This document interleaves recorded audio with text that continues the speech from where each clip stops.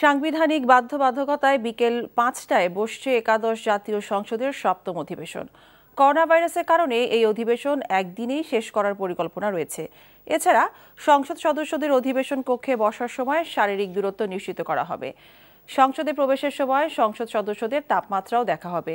জাতীয় সংসদের তিনশো সংসদ সদস্যের মধ্যে ষাট জন সদস্য উপস্থিত হলেই কোরাম পূর্ণ হয়। আর এজন্য আজকের অধিবেশনে বয়োজ্যেষ্ঠদের উপস্থিত হতে নিরুৎসাহিত করা হয়েছে। সেই সাথে সংসদে জনসমাগম এড়াতে কর্মকর্তা কর্মচারীদের উপস্থিতি যাতে কম হয় তা নিশ্চিত করতে প্রয়োজন নেই, এমন কর্মকর্তা কর্মচারীদের আসতে নিরুৎসাহিত করেছে সংসদ সচিবালয়। তাছাড়া সংসদ অধিবেশন শুরুর আগে সংসদের কার্য উপদেষ্টা কমিটির বৈঠকে সাধারণত অধিবেশনের সময়সীমা বিষয়ে চূড়ান্ত সিদ্ধান্ত নেওয়া হয়।